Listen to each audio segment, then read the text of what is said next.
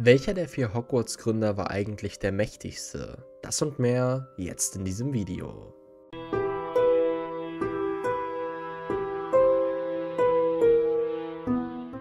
Im heutigen Video sprechen wir über die Gründer der Hogwarts-Schule für Hexerei und Zauberei, Godric Gryffindor, Salazar Slytherin, Helga Hufflepuff und Rowena Ravenclaw. Genauer gesagt werden wir die Gründer im Zusammenhang mit ihrer Kraft und Macht betrachten. In der Vergangenheit habe ich die mächtigsten Slytherins, Gryffindors, Hufflepuffs, Ravenclaws, Mitglieder des Orden des Phönix, Mitglieder von Dumbledores Armee, Auroren, Todesser, Weasleys und viel, viel mehr besprochen. Ich dachte, es sei nur natürlich, dass wir als nächstes die Gründungsmitglieder der einzelnen Hogwarts-Häuser betrachten. Bevor wir loslegen, möchte ich nur eines sagen. Alle vier Gründer von Hogwarts waren ungeheuer mächtig und ich meine wirklich mächtiger als die meisten Zauberer heutzutage.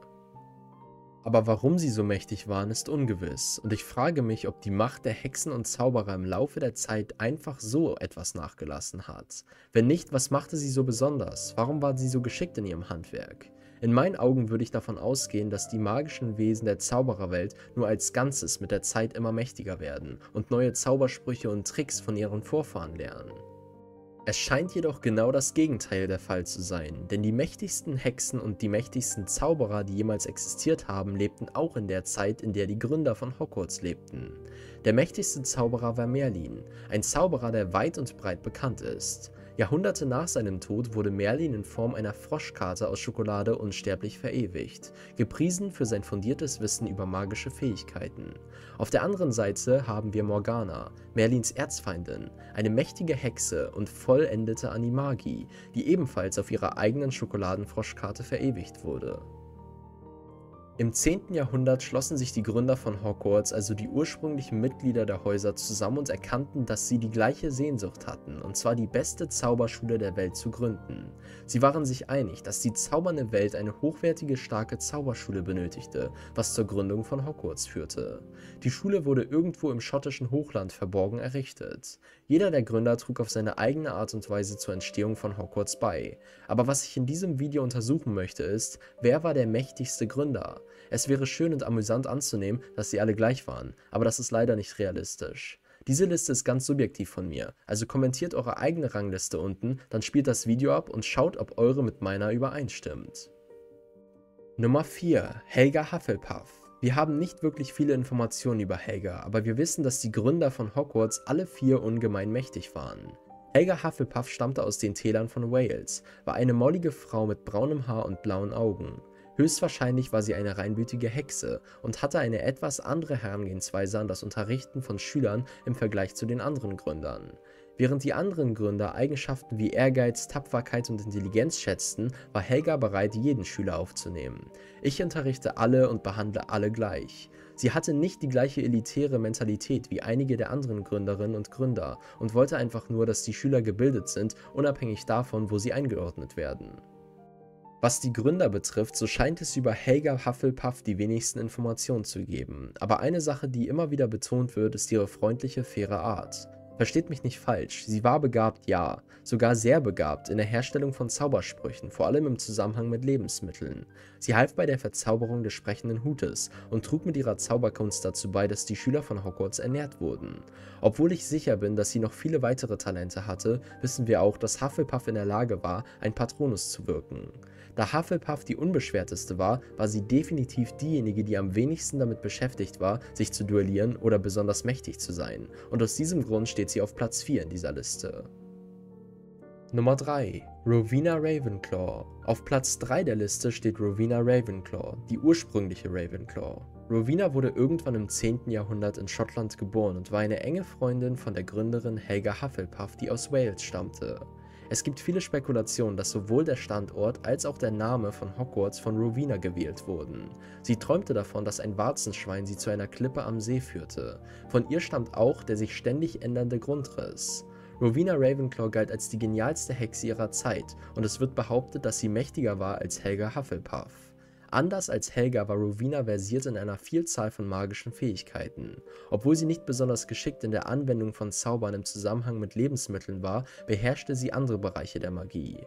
Rowena verzauberte sogar ihr eigenes Diadem, eine fortschrittliche Magie, die bewirkte, dass das Diadem die Weisheit des Trägers verstärkte. Wie Helga Hufflepuff konnte auch Rowena Ravenclaw ein Patronus heraufbeschwören, und es wurde behauptet, dass sie sogar in der Wahrsagerei bewandert war, einer Fähigkeit, die nur wenigen Hexen und Zauberern vorbehalten war. Ravenclaw war ein Spektakel, sie war ein absolutes Genie und hatte eine fleißige Natur. Sie war ein Musterbeispiel für die Schüler des Ravenclaw-Hauses. Doch trotz all dieser Eigenschaften ihres Wissens bezweifle ich, dass sie die kraftvollste oder mächtigste der Gründerinnen war.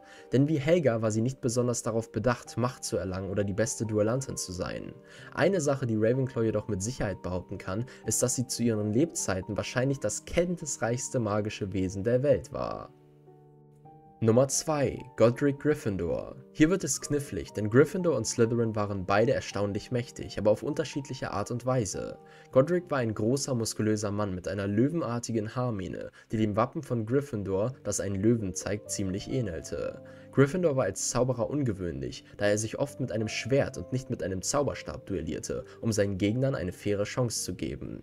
Er war ein äußerst beeindruckender Schwertkämpfer. Rowling hat es selber gesagt. Gryffindor war der versierteste Duellant seiner Zeit. Hier möchte ich jedoch einen Unterschied machen.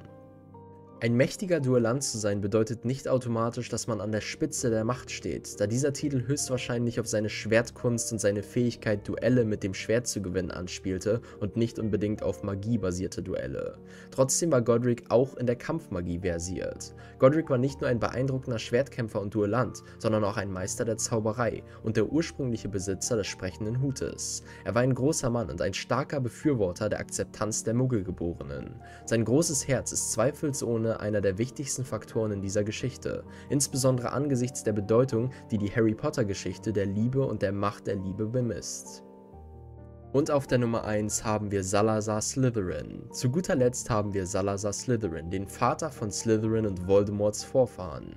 Slytherin war ein reinblütiger Zauberer, der irgendwann vor 1976 vor Christus geboren wurde. Und er war berüchtigt dafür, dass er gegenüber Muggeln und muggelstämmigen Schülern am wenigsten tolerant war. Sein Vermächtnis strahlt sich nicht gerade positiv aus und er verließ sogar die Schule, weil er nicht mit den Ansichten der anderen Gründern einverstanden war. Er wollte ausschließlich reinblütige Schüler an der Schule haben und vermittelte diese Philosophie an seine Schützlinge. Als er feststellte, dass die Dinge nicht nach seinen Vorstellungen liefen, errichtete er die Kammer des Schreckens, eine geheime Kammer, die einen mächtigen Basilisken beherbergte, um die Schule von Muggelgeborenen zu befreien. Das Beeindruckendste dabei war jedoch, dass er den Basilisken selbst erschaffen hatte. Mit Basilisken ist nicht zu spaßen. Sie gehören zu den mächtigsten Kreaturen in der Zaubererwelt. Daher ist es beeindruckend, dass er in der Lage war, einen Basilisken zu erschaffen und ihn direkt vor den Augen der anderen Gründer zu verbergen. Aber was haltet ihr davon? Wie lautet eure Reihenfolge? Lasst es mich gerne in den Kommentaren wissen. Ich danke euch für eure Aufmerksamkeit und bis zum nächsten Mal bei Harry Potter Wissen.